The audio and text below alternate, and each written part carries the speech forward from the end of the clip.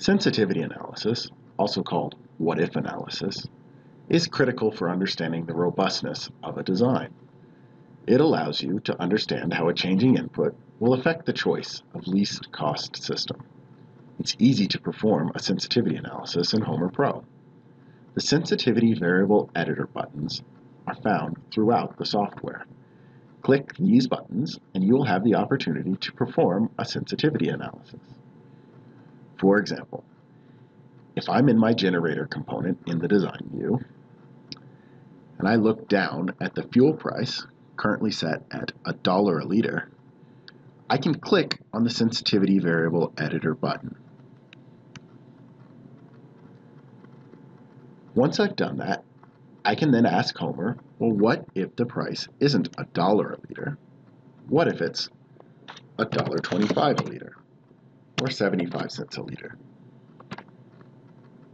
Before I go on, I'd like to point out this link with drop-down menu.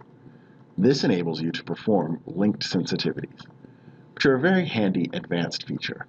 We're not going to cover that topic here in this quick introduction. So I'll click OK and then click Calculate to get results. Once the calculation finishes, Homer Pro will automatically switch you from the design view over to the results view.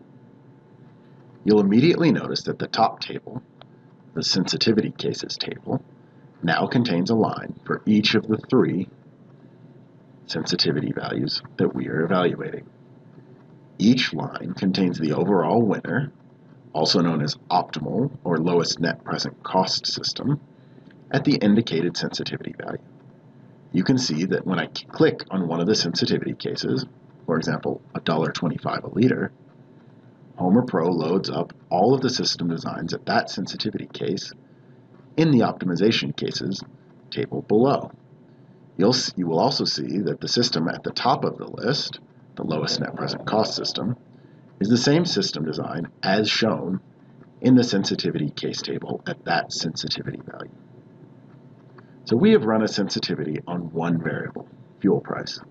However, you can run a sensitivity analysis on more than one variable. For example, we could also run a sensitivity on the discount rate. To access the, access the discount rate, select the project ribbon, and then click the economics button. You can see that we've already used a discount rate of 8%. If we click the sensitivity variable editor button, we can add more sensitivity values. Let's add 12% and 16%. Click OK, and then click Calculate to get results. You can see from the table that we ended up with nine sensitivity cases. Three from the sensitivity on fuel price times the three sensitivity values from the sensitivity on discount rate yields nine sensitivity cases overall. In addition to this tabular format, where you can compare the optimal systems at each of the sensitivity cases, you can also view graphs that describe your sensitivity and optimization results.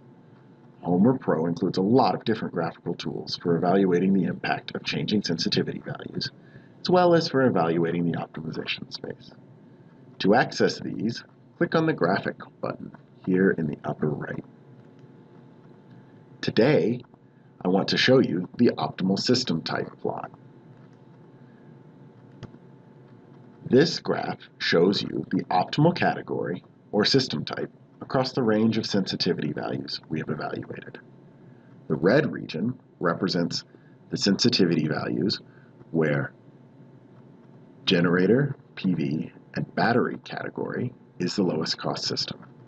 The pink in the lower right represents the area of the sensitivity cases where the generator and battery systems are the lowest cost.